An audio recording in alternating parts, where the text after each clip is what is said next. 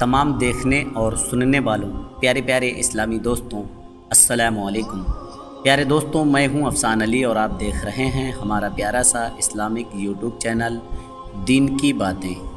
हमारे Islamic YouTube channel पर आप लोगों का खुश आमदीद दोस्तों, आज की इस वीडियो में हम बात करने वाले हैं शादी की पहली रात के बारे में। तो आप लोगों से गुजारिश है वीडियो में आखिर तक बने रहें। दोस्तों, शादी की पहली रात यानी कि सुहाग रात, इंसान की ज़िंदगी में बहुत ही ज़्यादा ख़ास होती है। ये एक ऐसा मौका होता है, जिसके लिए इंसान बहुत ज़्यादा इंतज़ार करता है। बहुत सारे सपने और बहुत सारी ख्वाहिशें, बहुत सारी उम्मीदें उसकी इस रात से जुड़ी होती है। और ये दिन इंसान की ज़िंदगी में सिर्फ़ और सिर्फ़ एक ही बार आता है। और ये रात इंसान की ज़िंदगी में सिर्फ़ और सिर्फ़ एक ही बार आती है। तो दोस्तों, इस रात को फिजूल की बातों में ना जाया जाने दें। तो दोस्तों, इस रात को फिजूल की बातों में तो दोस्तों, इस रात को फिजूल की बातों में ना जाया जाने दें। बहुत सारे नौजवान समझते हैं, बहुत सारे नौजवान नासमझी की वजह से, और अपनी हवस के खातिर इस रात को बर्बाद कर देते हैं। आइए दोस्तों हम आपको बताते हैं। इस रात को यानी कि सुहाग रात को आप सुन्नत के हिसाब से कैसे गुजारें आइए जानते हैं। सुहाग रात यानी कि शादी की पहली रात का इस्लामिक तरीका। दोस्तों जब मियाँ बीबी एक दूसरे से मिलें हम बिस्तरी का इरादा करें तो सबसे पहले बावजू हो जाएँ, यानी कि दोनों वज़ू कर लें। इसके बाद मियाँ बीबी दोनों मिलकर दो रकात नमाज़ शुक्राने की नफल अदा करें। उसकी नियत इस तरह से करें। नियत की मैंने, उसकी नियत इस तरह से करें। नियत की मैंने दो रकात नमाज़ नफल शुक्राने की। वास्ते अल्लाह ताला के मुँह मेरा काबा शरीफ की तरफ़। नमाज़ पढ़ लेने के बाद ये दुआ अल्लाह तबारक बताला से ज़रूर मांगे। अल्लाह तू हमारे इस निकाह को कामयाब बना, और इससे जो औलाद तू हमें अता करेगा, वो औलाद हमें नेक सवाल अता फरमा। ये दुआ ज़रूर मांगें, उसके बाद बीबी के पास आकर बैठें, उससे कुछ बातें करें, जल्दबाजी बिल्कुल ना करें, इत्मीनान रखें, इसके बाद मोहब्बत के साथ बीबी को हम बिस्तरी के लिए राज़ी करें। अगर बीवी राज़ी ना हो तो जल्दबाजी ना करें। जब आपकी बीवी हम बिस्तरी के लिए तैयार हो जाए तो जानवरों की तरह नंगे होकर हम बिस्तरी ना करें। नंगे होकर अगर हम बिस्तरी करोगे तो होने वाली औलाद पर शैतान का असर होता है, और इससे पैदा होने वाली औलाद नाफरमान और ज़िद्दी हो सकती है। दोस्तों, हम बिस्तरी करते वक्त पूरे कपड़े ना उतारें। जितनी ज़रूरत हो उतने ही कपड़े उतारें। अगर आप नंगे बदन भी हो जाएँ तो कोई दिक्कत नहीं है। एक दूसरे के ऊपर चादर डाल लें, यानी कि एक दूसरे के शर्मगाह को देखने से बचें। लोगों का कहना होता है, क्या हम बिस्तरी करते वक्त लाइट नहीं जलानी चाहिए? उजाला नहीं होना चाहिए। तो दोस्तों, हम आपको ऐसा बताते हैं। ऐसा कुछ भी नहीं है। बस ये ज़रूरी है कि एक दूसरे को नंगे बदन देखने से बचें, एक दूसरे के शर्मगाह को देखने से बचें। यानी कि उजाला इतना हो कि एक दूसरे से शर्मिंदगी महसूस ना करें।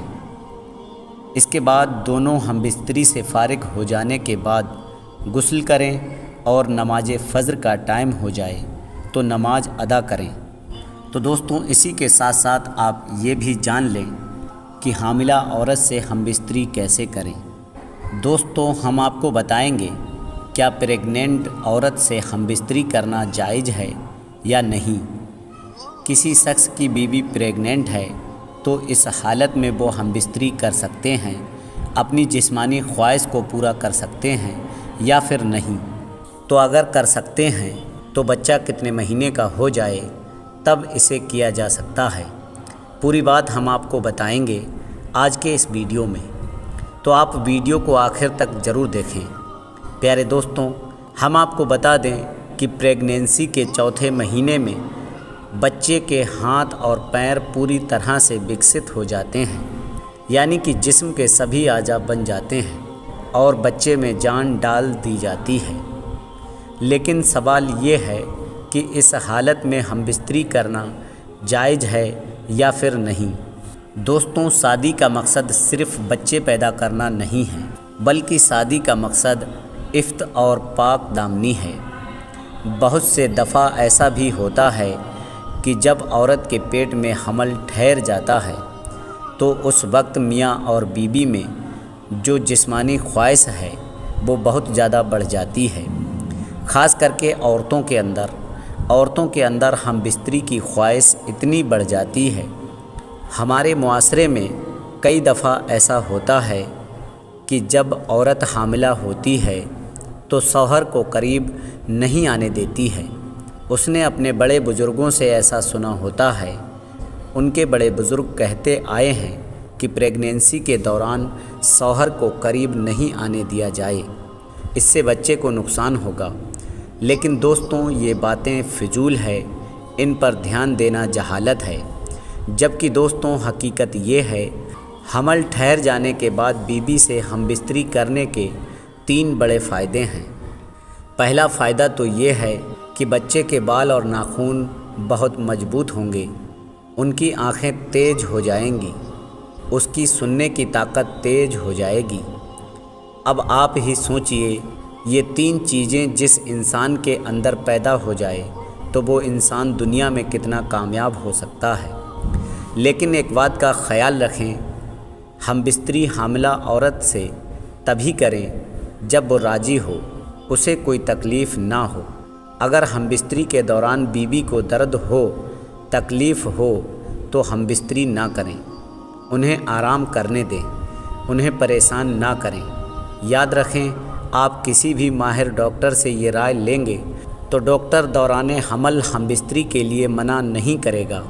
अगर आपकी बीवी की कंडीशन नॉर्मल है, सही है तो डॉक्टर आपको राय देगा, आप सेफ़ पोजीशन में हम बिस्तरी कर सकते हो। यानी कि ऐसी पोजीशन में, यानी कि ऐसी पोजीशन जिसमें बीबी के पेट पर दबाव, यानी प्रेशर ना पड़े।